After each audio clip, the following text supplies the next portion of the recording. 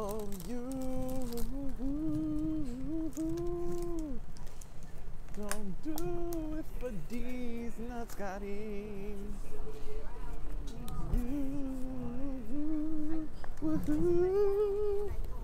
Don't do it for these nuts, got him.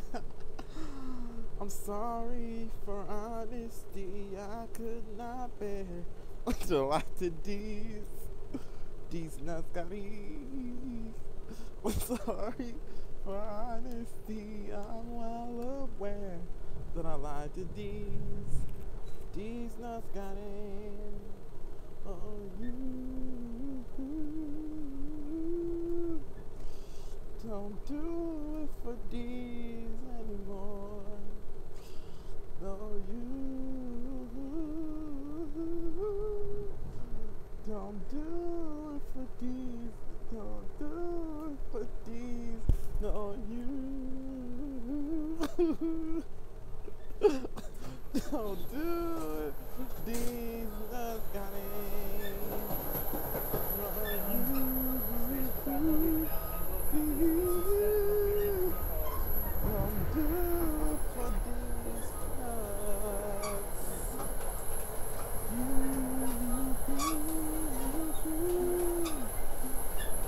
Don't do it for these nuts, got him.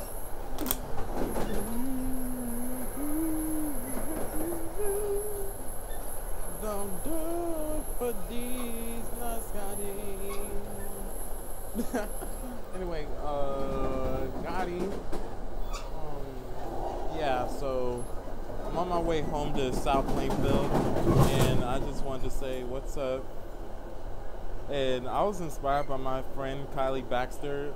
Obviously, that was Somerville Station.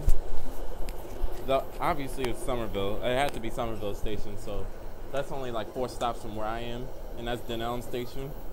Sometimes, like, if I'm headed to New York, I'll take Edison.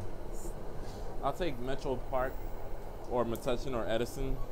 But yeah, I'm just coming home from school, so yeah, I'm using Dunny today. But if I'm going to New York, I'm taking Edison. Right now, um, I just got home. So yeah. I'm at Dunellen train station right now. And we just arrived. So So we just got here. And like if y'all are Quincy Jones fans like I am, because I've always been Quincy Jones is one of my heroes, so I like to meet Quincy one day. You know, I had a I had a dream that my friend Quincy Jones. I mean, I had a dream that my friend Kiley Baxter and I we met Quincy Jones one day. I don't know where we were. All I know is that we met Quincy Jones and we were together. But yeah, that was a good dream.